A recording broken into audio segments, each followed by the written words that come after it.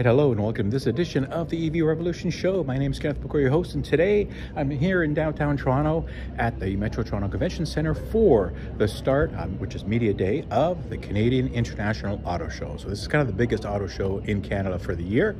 So, I'm here just to see what's happening in the world of electrification. Got a few interviews lined up, uh, show you a little bit what's going on, just give you a sense of how the market looks from the show perspective. So, sit back and hope you enjoy the show.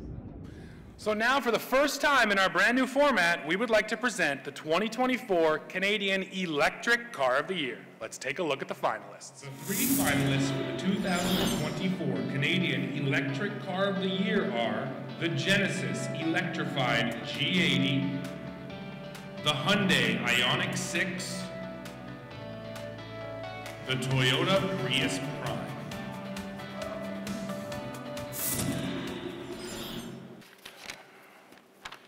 And the winner of the 2024 Canadian Electric Car of the Year is the Genesis Electrified G80. Les trois finalistes pour le prix du véhicule utilitaire électrique canadien de l'année 2024 sont le Genesis GV70 électrifié, le Hyundai Ioniq 5, le Kia EV9.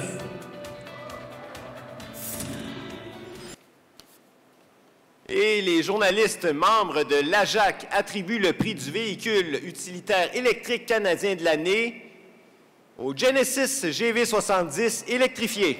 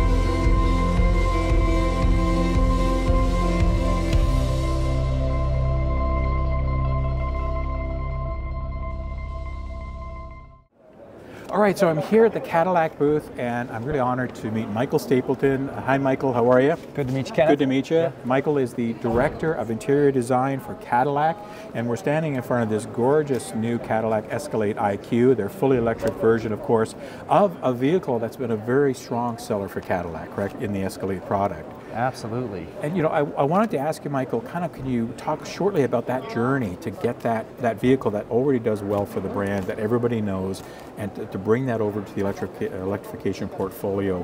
What's that journey been like for you guys?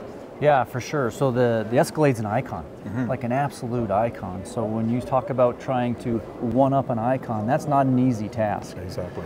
And so if you look at the exterior of this vehicle, the proportion and the size and mm-hmm. scale is just absolutely gorgeous. Mm-hmm. Um, and listen, the Escalade in itself is a, is, is a very impressive vehicle. It is, yeah. Um, but just proportionally, this is a little bit larger. It's mm-hmm. got a larger dash to axle, mm-hmm. so the front end is larger. Okay. It's a little bit larger vehicle overall.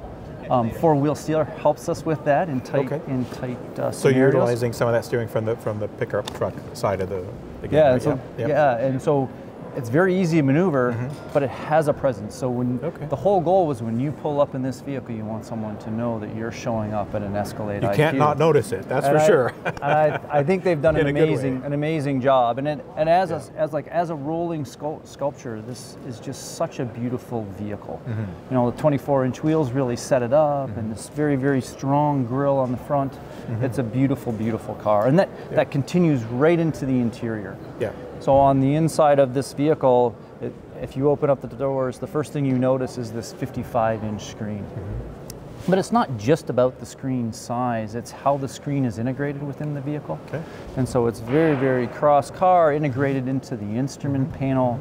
Um, and then as this as the car comes to life, the ambient lighting that happens, the way the screen lights up, um, the you know the 40 speakers on the inside of the car give you yeah. an experience that is like that is really second to none wow. um, and it's not just the front seat yeah. so once you move from the front seat to the second row yeah. and this vehicle here has it is there's an ex- executive seating package mm-hmm. okay and so you can do all the things that you want to do in a mobile Klein office and all that stuff yeah, in, in, in a really premium and, and luxurious way nice and so we don't feel like normally we always always talking about the front row. Mm-hmm. This vehicle, you want to talk about the second row and as much as you want to talk about the first row when you talk about a luxury yeah. luxury ride. Very nice. I mean, certainly I, I, see a lot of design elements from the Lyriq, and, and folks know I, I did some extensive reviews of the Lyriq. Absolutely love the vehicle. It's yeah. super quiet. The sound system is amazing. The drive is amazing, and and you know the whole infotainment and the whole um, electronic package that comes with it. And, and, I love having a combination of soft and hard controls, that kind yeah. of stuff. So it seems like you've taken a lot of those elements which are working, and to keep you know the momentum in the brand and that that gene of the family, and moved it over to uh, brought it into the, the Escalade, is correct? Yes, absolutely. So mm-hmm. you'll see a lot of the component sets that are kind of in the Lyriq yep. are also in the IQ, but mm-hmm. there, there's some additional things there. Mm-hmm. And so when you do that pillar to pillar screen, yep. um, we've given basically a 20 inch uh, monitor to the passenger oh, side. Oh, okay. Wow. And yeah. so now I can watch TV if I'm sitting in the passenger yeah. side and you're driving. Independently of independently can, okay. of what's going on. So I wow. can I have my own screen, so I have yeah. once again this more luxury experience for a passenger. Yes. Um, as well as we've got an HVAC controller that's in the console that's also um, electronic, and so there's there's little things that really just kind of make it a step above, mm-hmm. um, and that goes all the way through the the entire interior with these really nicely crafted little details mm-hmm. that kind of set just they just set it apart. And you, you might read it initially as wow this is amazing, and then as you spend time with yes. the vehicle, yeah. you find these little gems along the way, and, yeah. and you can see the attention that the designers have put to every single surface, every single detail on the interior. Absolutely, and of course, a vehicle of this size is you know there to move people and stuff. So. Mm-hmm ample cargo space, lots of room inside. I take it, uh, will it have a frunk? It has a frunk. It has a frunk, okay. Yeah, yep. you, Kenneth, you're definitely going to see it. It's huge. I'd love to take some B-roll of, of, that after yeah. for sure. Uh, easy hatch, you know, lots of, uh, of uh, accessibility from the back to put stuff in, you know, lower lift, all this kind of stuff. Is there, you know, to wrap up, is there one design feature that we may not notice or we may notice that you're really, really super proud of it in this particular vehicle that's kind of different? You talked I, about some of the things. Yeah, so I think like I think if you look at the laser etching that's gone just into the speaker grill itself, Mm-hmm. it's kind of it kind of shows the amount of detail that's gone into the interior overall. Mm-hmm. And so there's all these little surfaces. The pattern is not a consistent pattern. Right. Um, there's uh, different texture changes, the backlighting that happens in the doors, and so it's not just one thing. It's like a, an- a it's really like a combination of multiple things that Yeah. really kind of set it over the top. Yeah. And from the feel of the materials to the look of the materials to the backlighting of the materials to the sound that's on the interior, everyone talks about experience, but it really mm-hmm. is this full sensual experience Yeah. on the interior of the vehicle. You know, I can see the excitement when you're speaking about this, Michael. And when do you think you know uh, consumers and customers will be able to share that excitement in this vehicle from from first customer ships? Is this something that's targeted in Canada for the by the end of this year, or do you have any sense of timing there? I do think it's later this year, Yeah, but you I'm- better I'm- ask somebody else to get Okay. the official date on that. But Yeah. I do believe it's late in, later in the year this year Yeah, after the I summer. know there's a lot of stuff Yeah. coming from the GM family this year uh, as as you guys ramp up for electrification Yeah. and start getting stuff out there. So I'm excited. I know owners of the Lyriq and they love it. So I'm really excited to see this on the road and get behind the wheel at some point. So thank you very much for your time. It's been Awesome. very informative. Thank you. All right, thank you. All right, so here I'm at the Chevrolet booth and I'm here seeing my old friend James Hodge. I wanted to say Hodgson for some reason. I don't know, but James Hodge. I've been the- called worse, Ken. You've been called, uh, so, so have I. Trust me. We're married, right? Yes, we've been called. Uh, and you're the brand director for Chevrolet, correct? Yes, sir. In Canada. Thank you very much for taking the time to talk to me. Now, we talked last year at a pretty similar spot, maybe 20 feet away from where we are today, and we had a lot of high expectations from Chevrolet on these vehicles that we're standing near, both the Equinox and the Blazer, and then we've got some of the pickups in the Silverado. I know that it was a challenging year in 2023, and I get it, but you know, what's what are we going to look for for 2024 from you guys? Hey, so last year was a challenging year. There was no question there were headwinds in the industry generally, uh, but what we saw was actually some great sales success. So first and foremost, GM actually sold more vehicles to Canadians than any other automaker. So we had a great year for General Motors. Chevrolet contributed to that uh, success by growing our sales over 19%. Wow. Having said all of that, we had record sales year for Bolt EV and Bolt EUV. Agreed, yeah, because you're discontinuing and great vehicle, people were realizing, hey, let's jump on that. We had we had overwhelming demand for, Yes. for Bolt. We, we think we probably left some of that uh, demand on the table. Probably, but yeah.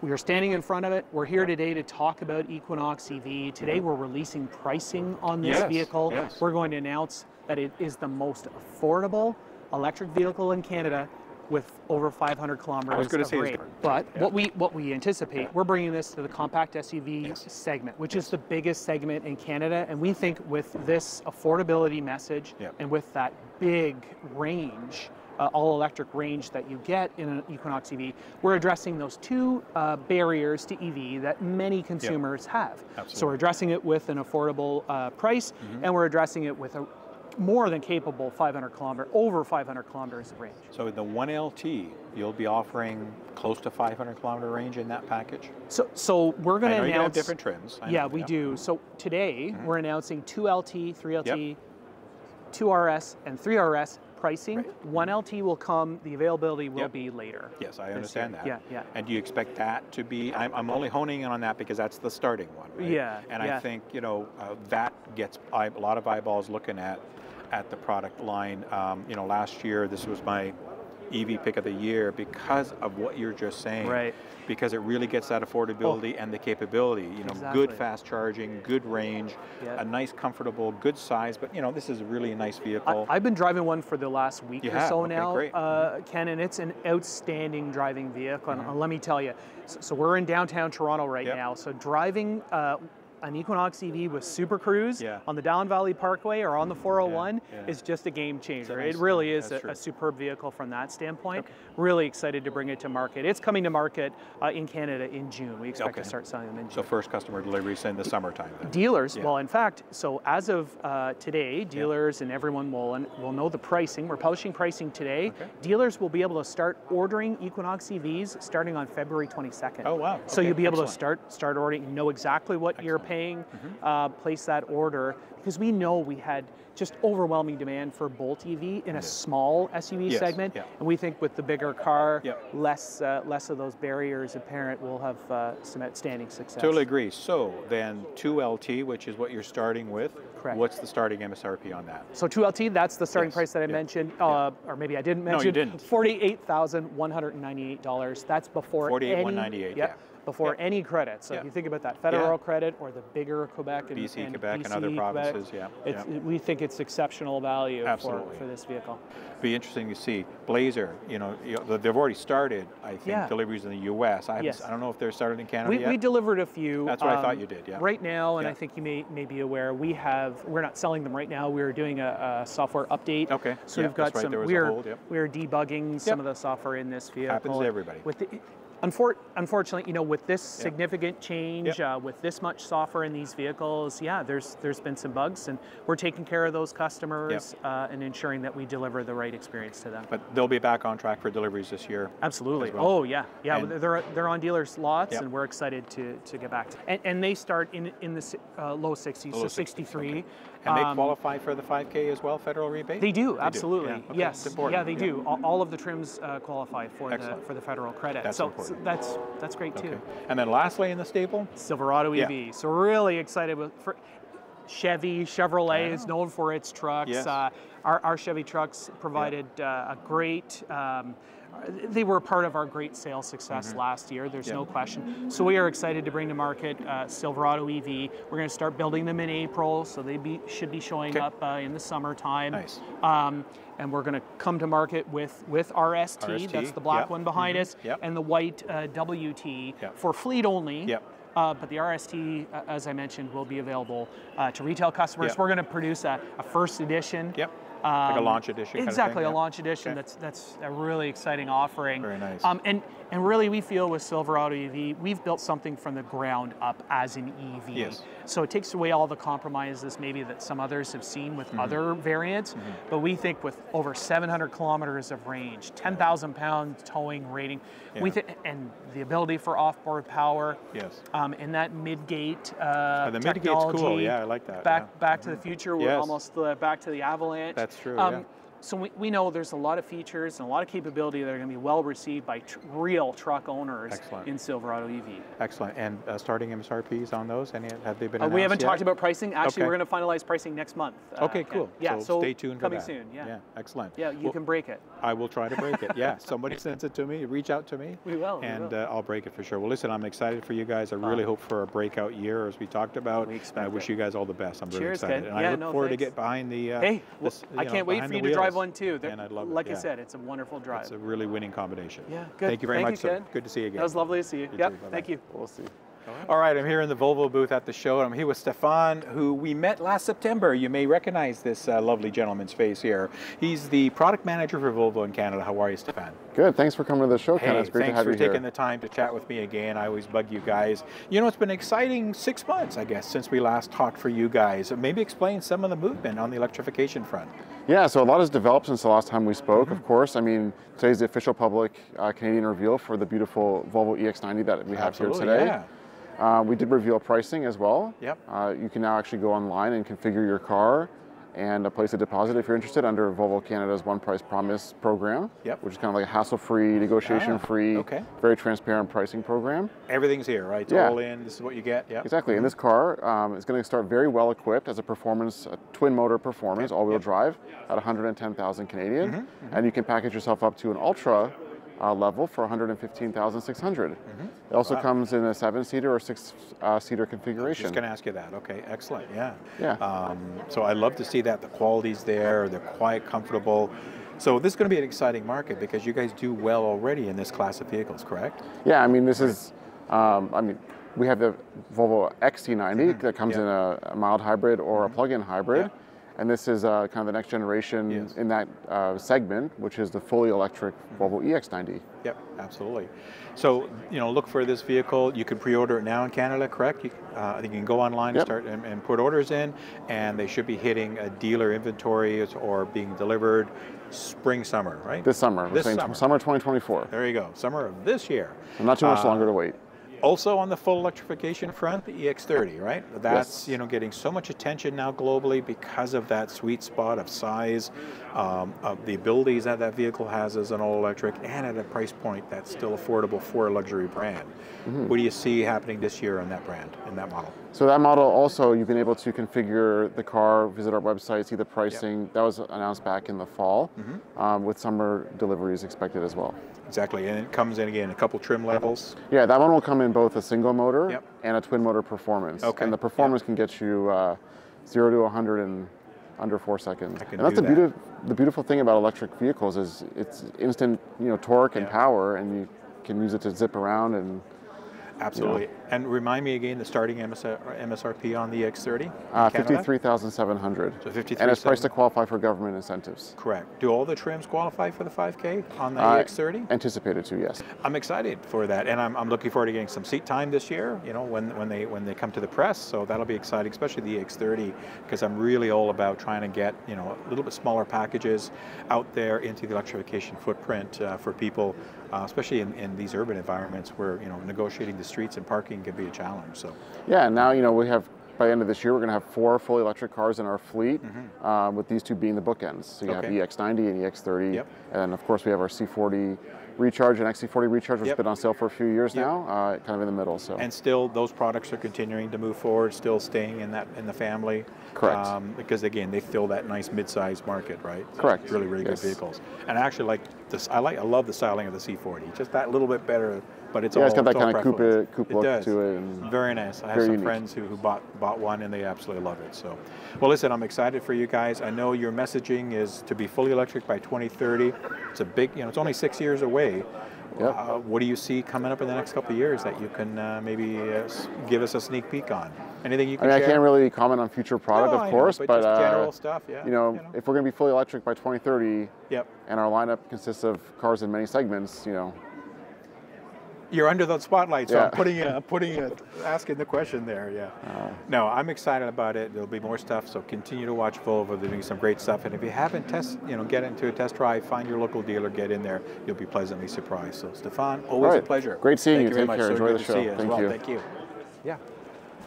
All right, so staying on the the GM uh, side of the business, I'm looking at GMC specifically, and I'm here with Mark Alger. He's the brand manager for GMC. How are you, sir? Good to see you, Ken. How are you? Good to see you again. We talked about a year ago, so I'm seeing a lot of familiar faces here at the car show, which is what we do in the world that we live in. Yeah, great to see you Um, again. We're here talking about this beast behind us here. Everybody, I think, knows about the Hummer EV. They've seen them. There's been a lot of buzz. These things are crazy. You know, three and a half second, 10,000 pound beasts. You guys have a lot of them here. What can you tell us about the Hummer EV? What's going on? Well, Ken, the response to the Hummer has been overwhelmingly, much like the vehicle itself, overwhelmingly positive and Yep. terrific. Um, and people love Hummer for a lot of reasons. When you look at our social media channels, you can see that whenever we post anything about Hummer, Yeah. we get off the charts engagement and, and responses. And it's typically very few words, lots of emojis. so people will Yeah. put out hearts and fire and sunglasses and hard eyes and Yeah. applause hands. So um, we have a lot of a huge fan base for Hummer, a lot of enthusiasts, a lot of owners and potential owners. Mm-hmm. So Hummer's been really um, a spectacular, powerfully brand for GMC, and it's brought a lot of new customers into the brand because of the EV piece. Mm-hmm. Yep. And customers love Hummer for a lot of reasons, right? They love it because of the iconic Hummer styling. As you can see, it's beautiful. Mm-hmm. Yeah. It has that legendary heritage Hummer look. Yeah. Um, they also love it because of the capability. You Mm-hmm. talked about the performance and the speed. Um, zero to 60 miles an hour in three seconds, 1,000 horsepower, up to 570 kilometers of range. Those are pretty impressive numbers, and they also love it because it's electric. So Yeah. I think in terms of its role for the GMC brand, it's done a lot to really help amplify the GMC premium space Right. because it comes in above Denali Yep. in our SUV and truck Yep. portfolio. Yeah. And it's done a lot to transition us from gas and diesel into the EV space uh, with style, with stunning performance, and it's really cool. So it Right. shows that an EV can be cool, fun, and outrageously capable. So it's really done a lot of good stuff for the GMC brand. outrageously capable. I like that Yeah. term. I'm going to steal that and start using that. Yeah, you know, because uh, it's more like, yeah, it's got some halo vehicle attributes, but Right. it's more than that, right? Just as you described, you know. Yeah, There's a lot of yeah. stuff in here going True. on.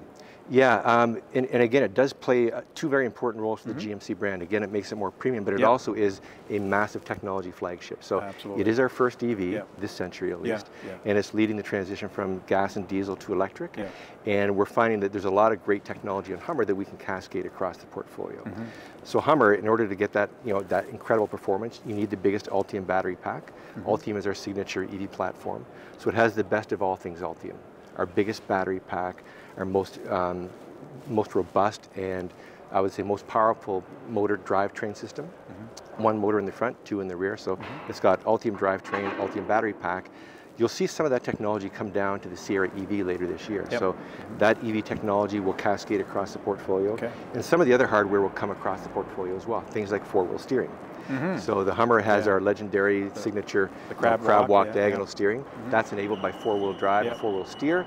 The four-wheel steer piece will come down to the Sierra EV later this year in Canada. Okay. So um, cool. we're using this as a technology flagship for the brand and really accelerating the transition to EVs at GMC.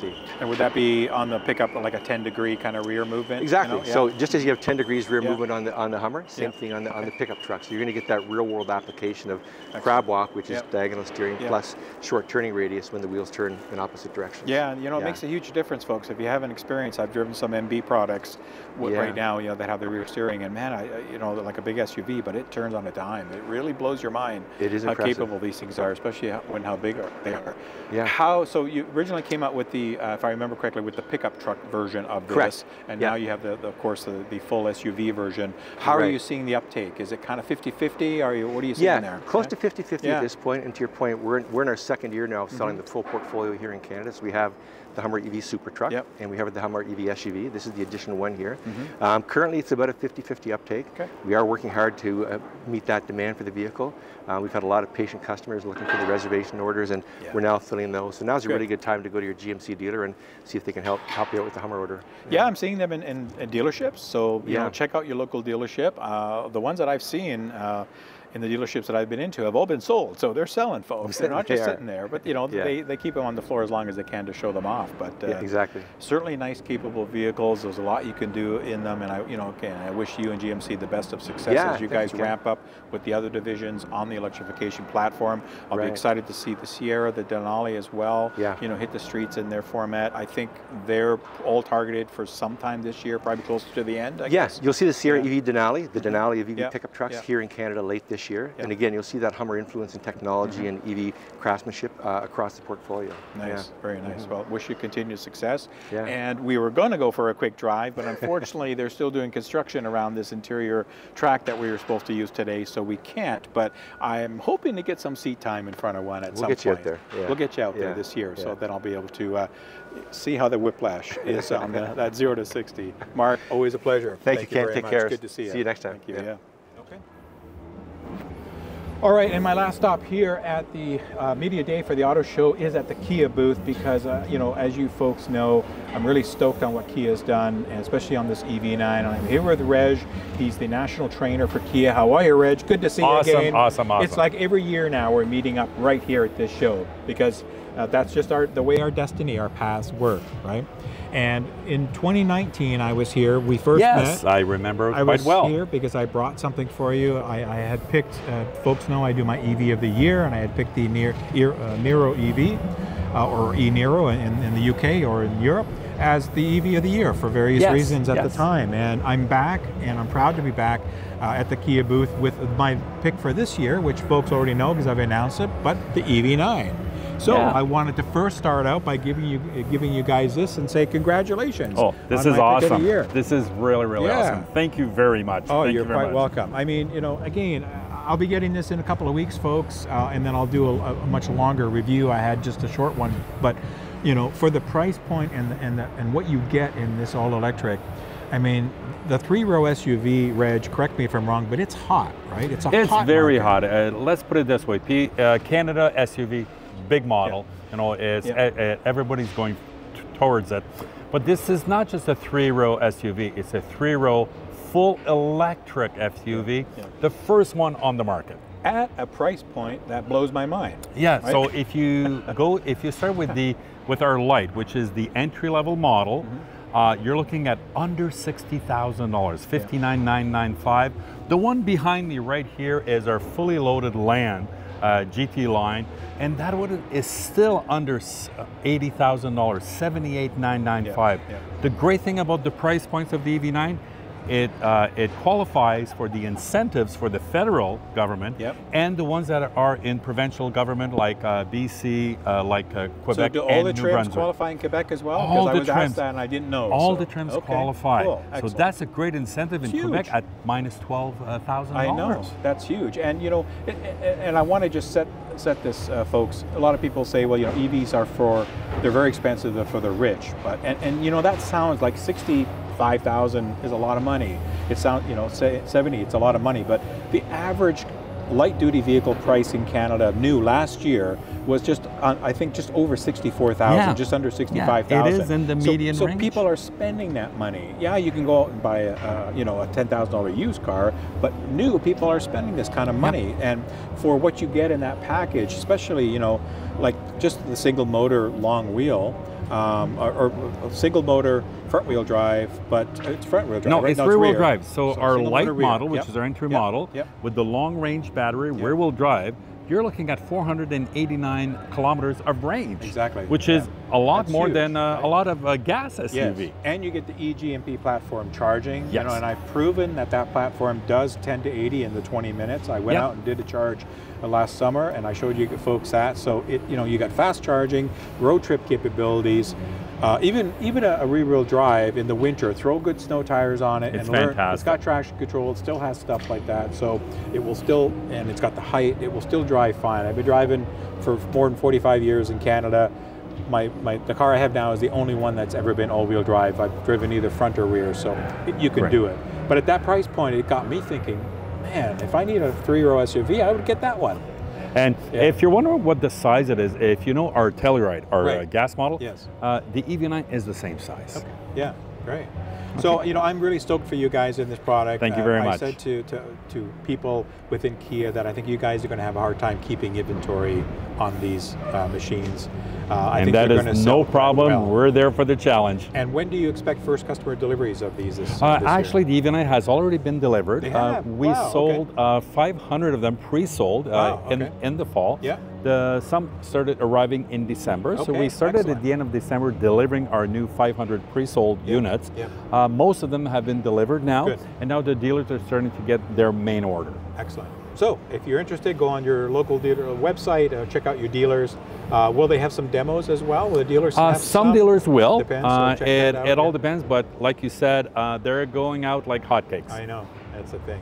Well, anyway, congratulations to you guys. You guys keep up Thank all the you very efforts. much. Thank you very much for job. for the uh, award here, Thank you. and have a fantastic well auto deserved. show. Thank you. Okay. Take care.